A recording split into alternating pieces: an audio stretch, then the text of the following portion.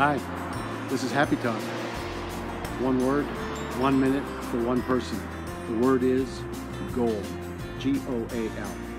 Goal is not only what happens when the ball goes in the back of the net in a soccer game, it's also what we do every day, every week, every month, every year, and for all of our life.